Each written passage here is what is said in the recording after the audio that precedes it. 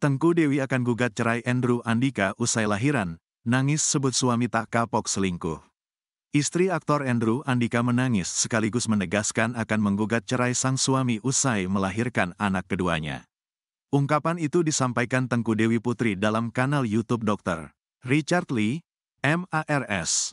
Usai membongkar dugaan perselingkuhan Andrew Andika, Tengku Dewi memilih untuk fokus melahirkan dulu. Baru setelah itu, ia akan mengambil langkah tegas untuk menceraikan Andrew Andika.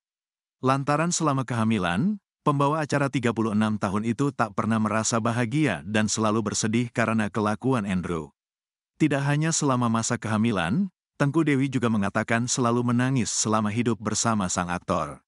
Namun selama ini, dirinya selalu menyembunyikan kepada publik.